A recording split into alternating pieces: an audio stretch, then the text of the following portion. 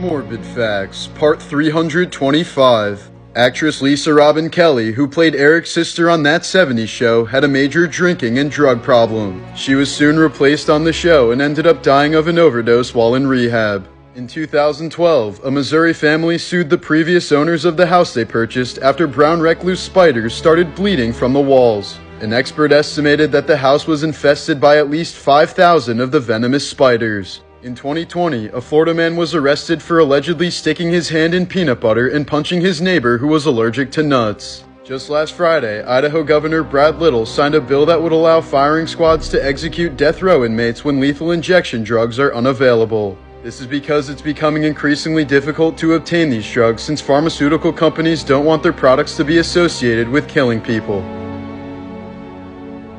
Right.